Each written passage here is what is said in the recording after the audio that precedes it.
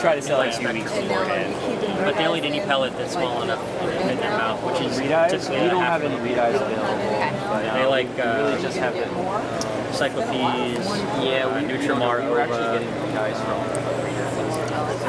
maybe mysis shrimp. It's kind of an individual thing. Most of them are too small to eat mysis Trying to shrimp. figure out a new way to do it. I mean, I knew you haven't had it in a while. Those are the Dakota, I guess, over there. Kudas are all we have available right now. I have I always love these. I think I film these at every show. this one read I had read Just Dustin sat next to me. while I've done this numerous times.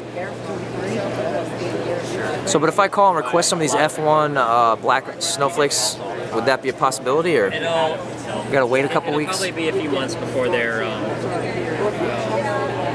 well, this is probably one of the biggest fish. We just brought one to kind of show the difference, and I think that almost the entire first batch, aside from that guy, went back into broodstock. But the pairs there spawning will be pretty.